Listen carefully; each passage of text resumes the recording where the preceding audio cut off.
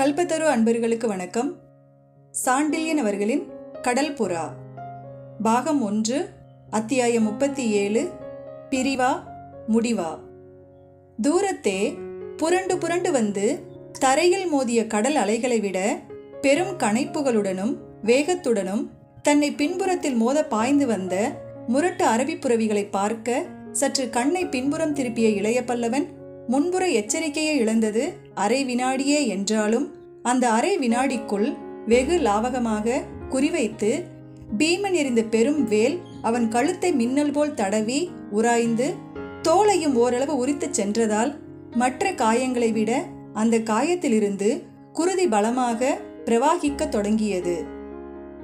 வேல் எறிவதில் குறி தவறாதவன் என பிரசித்தமுடைய தென்கலிங்கத்தி பீமனின் வேல் அன்றும் குறி தவறாமல் இளைய பல்லவன் கழுத்தை ஊடுருவத்தான் வந்ததென்றாலும் சோழர் படைத்தலைவன் தலைவிதியும் கலிங்கத்தின் பிற்கால கதியும் அவன் உயிரை காக்கவே செய்தன. இளைய பல்லவன் போராட்டத்திலேயே இருந்திருந்தால் அந்த வேலே அவனை மாய்த்திருக்கும். ஆனால் திடீரென பின்புறத்தில் புறவிகளின் சத்தத்தை கேட்டு திரும்பி விட்டதாலும் மீண்டும் அவன் கழுத்தை திருப்பி எதிரிகளை நோக்கும் முன்பு வெகு வேகத்துடன் புறவி ஒன்றும் அவனை முட்டியதால் அவன் உடல் சிறிது நகர்ந்து விட்டதாலும் பீமனின் வேல் அவன் உயிரை உறிஞ்ச சக்தியற்றதாயிற்று. இருப்பினும் அவன் வேலை விட பயங்கரமாக பாய்ந்து வந்தன பின்புறத்தில் அரபு புறவிகள். எதிரிகள் மீண்டும் அவனை சுற்றி வளைத்து தாக்கினார்கள். மனித வாழ்க்கையில் சில சந்தர்ப்பங்களில் அபாயமே பெரும் உதவியாக மாறத்தான் செய்கிறது. இளைய பல்லவன் அந்த சமயத்தில் இருந்த அபாய நிலையில் பின்னால் வந்த புறவிகள் விளைவித்த அபாயம் ஓரளவு நன்மையே விளைவித்தது. கலிங்க வீரர்களுக்கும் இளைய பல்லவனுக்கும் எந்தவித வித்தியாசத்தையும் எட்டாத அந்த முரட்டு புறவிகள் இளைய பல்லவனை மட்டுமின்றி அவனை சூழ்ந்து வந்த கலிங்க வீரர் மீதும் பாய்ந்ததால் வீரர் படை அவனை சூழ முடியாமல் பின்னடையவே நாற்புறத்திலும் சுழன்று போரிட அவசியமில்லாமல் எதிரிகளை நேர்முகமாகவே வாளால் தடுத்தும் வீழ்த்தியும் போரிட்டான். அந்த போரும் சில வினாடிகளே நிகழ்ந்தன. புறவிகளின் பாய்ச்சலுக்கும் கடிக்கும் உதைக்கும் அஞ்சிய கலிங்க காவல் வீரர்கள் சில அடிகள் பின்வாங்கியது இளைய பல்லவனுக்கு ஓரளவு சௌகரியமாயிருந்தாலும் அவன் அந்த சமயத்தில் மரண வேதனையை பரிபூரணமாக அனுபவித்தான். புறவிகள் அவனை சில சமயம் உராய்ந்து சென்றபோது ஏற்கனவே பல காயங்களில் இருந்து ரத்தம் பெருகியதால் சோகப்பட்டிருந்த அவன் உடல் தள்ளாடியது. புறவிகள் கடல் மணலை பின்புறமாக காலால் வாரி வாரி அடித்ததால் மணலில் இருந்த சிறு சிறு கற்கள் சுள் சுள்ளென்று அவன் தேகத்தில் பல இடங்களிலும் தாக்கின. வீசப்பட்ட மணல் அங்கி அணிந்த பாகங்களை பாதிக்காவிட்டாலும் குருதி பாய்ந்த கழுத்தின் பின்புறத்திலும் சதை பெய்த பக்க பகுதிகளிலும் தாக்கி பதிந்து மிகுந்த எரிச்சலையும் சொல்ல ஒன்னா வேதனையையும் விளைவித்தன. திடீர் திடீரென கிடைத்த இரண்டொரு உதைகள் அயராத அவன் கால்களையும் அயர வைத்தன. இத்தனையையும் சமாளித்துக் கொண்டு எதிரிகளை தேக்கி நின்ற இளைய பல்லவன் காவல் வீரர்களில் சிலர் மாண்டுவிட்டாலும் அவருக்கு பின்புறத்திலிருந்து மீண்டும் இருபது முப்பது புறவி படை வீரர்கள் உதவிக்கு வருவதை கவனித்தான். துவண்ட தன் கால்களையும் சற்றே மயக்கம் வந்து கொண்டிருந்த தனது நிலையையும் எண்ணினான். தனக்கு முடிவு நெருங்கிக் கொண்டிருக்கிறது என்பதை சந்தேகமர உணர்ந்தான். மரண உணர்ச்சி மனிதனுக்கு எப்பொழுதும் எதிர்பாராத பலத்தையும் வேகத்தையும் அளிக்கும் தன்மை வாய்ந்ததால் மரணத்தை எதிர்நோக்கி நின்ற அந்த சமயத்தில் இளைய பல்லவனுக்கு இணையற்ற பலத்தையும் அளித்தது. அதை தவிர அந்த சமயத்தில் புறவி வீரர் அணிமுகப்பில் தன் எதிரே ராட்சதன் போல் வந்துவிட்ட பீமன். வெட்டி போடுங்கள் அவனை. உங்களில் நால்வர் சுங்கச்சாவடி பக்கம் போய் சங்கம கரையோரமாக போய் அந்த வண்டியை தடை செய்யுங்கள். என்று உத்தரவிட்டதையும் அந்த உத்தரவை தொடர்ந்து அவனுக்கு பின்புறம் இருந்த வீரர் சிலர் புறவிகளின் இடையூறு இல்லாத பக்கமாக சுங்கச்சாவடியை நோக்கி விரைந்ததையும் கவனித்த இளைய பல்லவன் வெகு சீக்கிரம் அமீரின் வண்டியையும் ஆபத்து சூழ்ந்துவிடும் என்பதை உணர்ந்து கொண்டான். ஆகையால் வாளால் எதிரிகளை தாக்கிக் கொண்டு பின்புறம் திரும்பி வண்டியை நோக்கினான். அடுத்த வினாடி பின்புறம் பாய்ந்த முரட்டு புறவி ஒன்று மோதி தள்ள அவன் நிலத்தில் உருண்டான். அவன் தலையில் இருமுறை இரு குழம்புகள் சட் சட்டென்று தாக்கின. அத்துடன் அவன் நினைவிழந்தான். வேறு பல புறவிகள் அவன் மீது பாய்ந்து சென்றன. புறவிகளின் அந்த தாக்குதலில் அந்த வீரனின் உடல் மணலில் புரண்டதைக் கண்ட பீமன் இனி அவனை கவனிக்க தேவையில்லை என்ற காரணத்தாலும் தாறுமாறாக படையை தேய்க்கும் புறவிகளோடு போரிடுவது அவசியமில்லை என்ற காரணத்தாலும் வண்டியை மடக்க ஏற்பாடு செய்து அனபாயன் முதலியவர்களை பிடிப்பதே அடுத்தபடி செய்ய வேண்டிய வேலை என்ற உத்தேசத்தாலும் தன் வீரர்களை பக்கவாட்டில் திரும்பச் சொல்லி அவர்களுடன் சுங்கச்சாவடி பாதையில் வெகு துரிதமாக சென்றான். அப்படி சென்று கொண்டிருந்த சமயத்தில் அமீரின் வண்டி எங்கிருக்கிறது என்பதை கவனிக்க நீர்க்கரை அருகே கண்களை ஓட்டினான். புறவைகள் எழுப்பிய மணல் தூசியும் இடையே போடப்பட்ட கப்பிச்சாலையிலிருந்து கிளம்பிய செம்மண் தூசியும் கடற்கரை பிராந்தியத்தில் மண்டி கிடந்ததால் வண்டி இருந்த இடம் கண்ணுக்கு தெரியவில்லை கலிங்கத்து அதிபனுக்கு.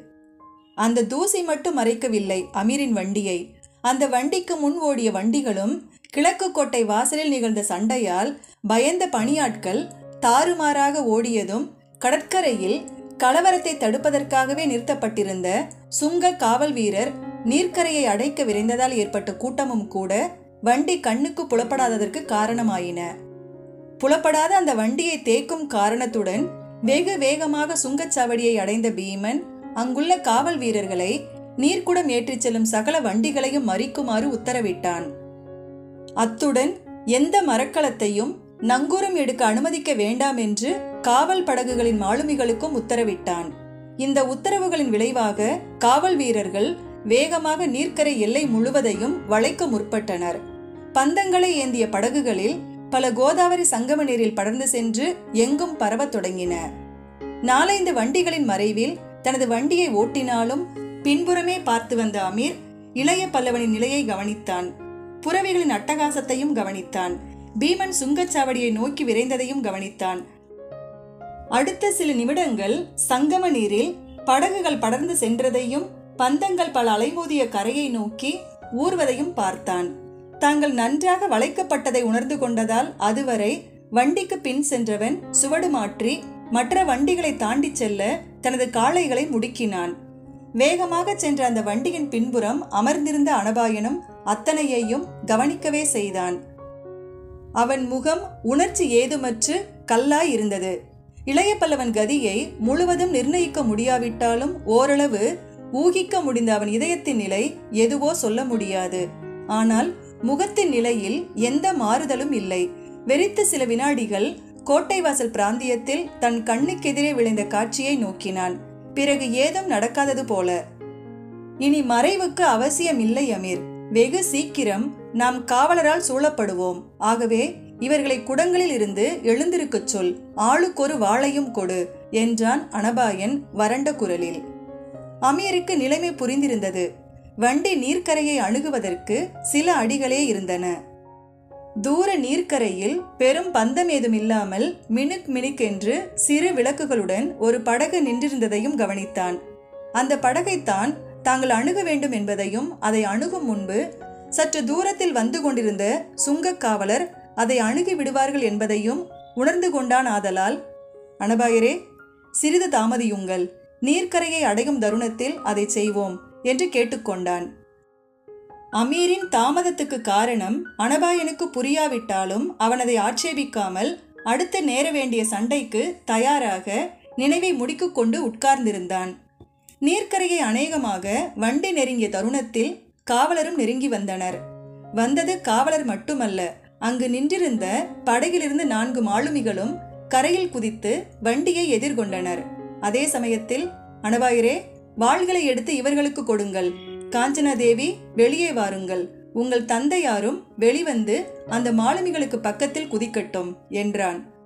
அடுத்த வினாடி நீர்க்குடங்கள் வண்டியில் இருந்து உருண்டன. அவற்றைத் தொடர்ந்து வண்டியில் இருந்தவர்கள் மணலில் குதித்து கரையை நோக்கி விரைந்தார்கள். கட்டின காளைகளை அப்படியே விட்டுவிட்டு குதித்தவர்களுக்கு வைக்கோல் மறைவிலிருந்து வாள்களையும் எடுத்தளித்துவிட்டு வைக்கோல் மறைவிலிருந்த தனது குறுவாள்களையும் கைக்கொண்ட அமீரும் அவர்களை தொடர்ந்தான். அவர்களில் முன் சென்ற குணவர்மனும் பணிப்பெண்களுமே படகை அடைய முடிந்தது.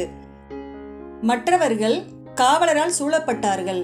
சூழ்ந்த காவலர் பதின்மரே என்பதையும் மற்றவர் சற்று தூரத்திலேயே வருகிறார்கள் என்பதையும் கவனித்த அனபாயன் தன் வாளை கண்ணிமைக்கும் நேரத்தில் இரண்டு மூன்று பேர் மேல் பாய்ச்சி இழுத்தான்.